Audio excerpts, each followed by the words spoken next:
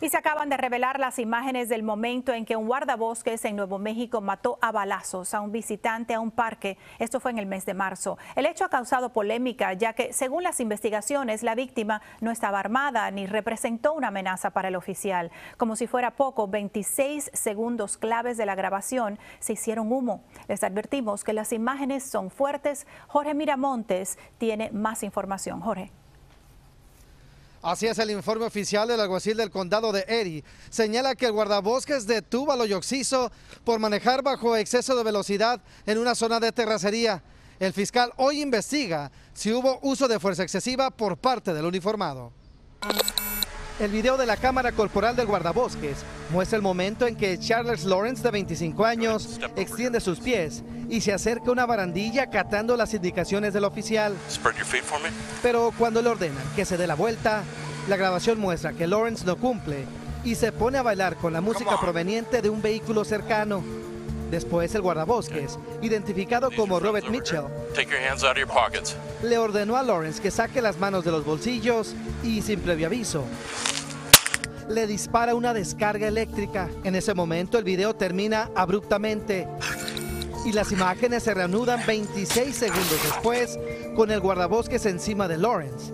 Y es ahí cuando el oficial le dispara en dos ocasiones.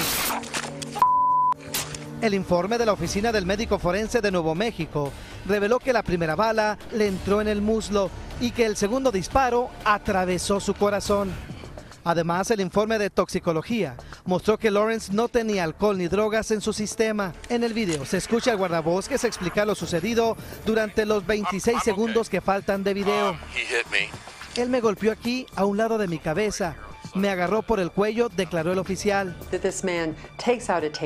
Este hombre toma su pistola de descarga eléctrica y le dispara a Gage sin provocación alguna, dijo la abogada de la familia Lawrence, quien informó que planea presentar una demanda contra el Servicio de Parques Nacionales. El video también muestra que después de tres minutos de abrir fuego, el guardabosques esposó a Lawrence y lo declaró arrestado.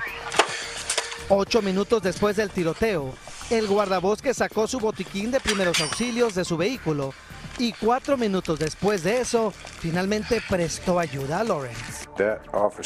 Ese oficial robó innecesariamente la vida de mi hijo. Van tantos meses de investigación, lo hacen pensar a uno que están tratando de ocultar algo. El fiscal informó que tomará una decisión sobre los posibles cargos una vez que examine todas las pruebas y eso incluye los 26 segundos del video faltante que están siendo recuperados. Ese reporte desde Los Ángeles, California. Soy Jorge Miramontes. Regreso contigo.